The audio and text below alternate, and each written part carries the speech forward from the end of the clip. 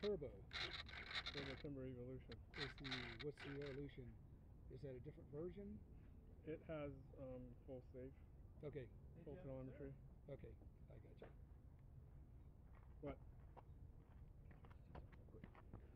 are. This is one of the options. Doesn't There's quite- actually a camera mount that you basically put on top of here that put a little bit longer bolts. cool, Does that'd it have cool. any bolt holes in the bottom? Mm, nothing.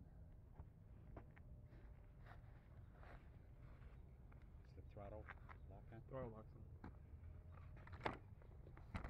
Because what they're talking about is, you know, mounting stuff like here, you know, somewhere. I guess you'd have to drill holes in it. Yeah. Yeah, it's all right.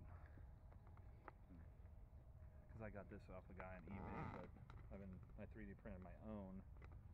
So That's pretty cool If it, it would fit on those. Would cool. Yeah, I'm, I need to. There's one camera mount that bridges this, and the camera's up here. Mm. Um, have to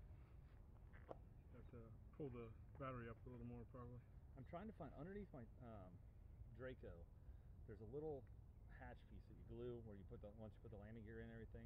That little hatch, or not hatch. I guess it's a little cover or whatever. Just a cover. I'm gonna try to pull that off, recreate it as a 3D print, and basically have it where I can mount the camera there. That would be cool. Oh, so yeah. I'm gonna I'm trying to, but I need to figure out a way to mount it in there so it doesn't fall off. Because right now it's just kind of hot. It's glued in it's a piece of balsa wood under it. yeah something. Yeah, just something I can screw into or whatever.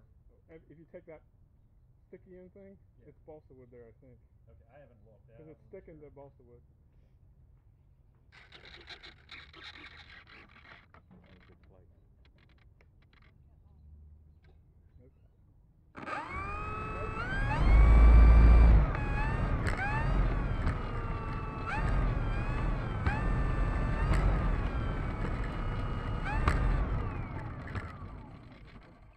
This plane flies really good and it's built like a tank.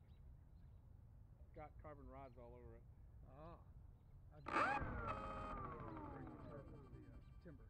Yeah, it's got carbon rod, two carbon rods running from the nose to the tail.